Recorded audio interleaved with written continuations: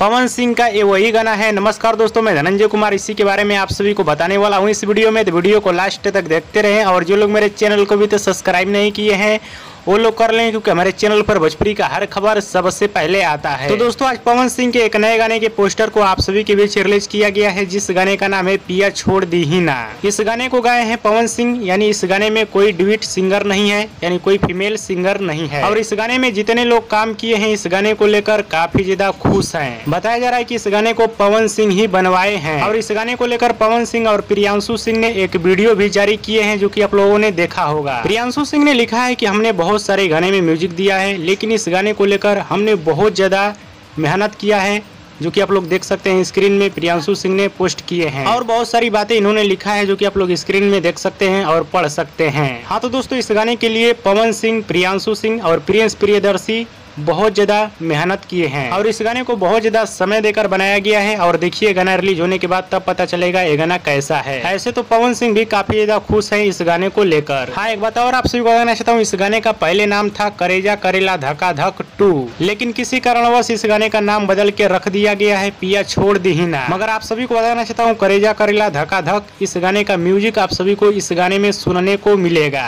जी हाँ दोस्तों करेजवा करेला धका धक इस गाने का म्यूज़िक आप सभी को सुनने को मिलने आने वाला है इस गाने में। और बहुत जल्दी इस गाने को आप सभी के बीच रिलीज़ किया जाएगा टी सीरीज़ हमारे भोजपुरी के यूट्यूब चैनल से, यानी तीन से चार दिन के अंदर में इस गाने को आप सभी के बीच रिलीज़ किया जाएगा। वीडियो पसंद है तो ज़्यादा ज़्यादा लाइक करे कमेंट करे शेयर करे सब्सक्राइब करे। धन्यवाद दोस्तों।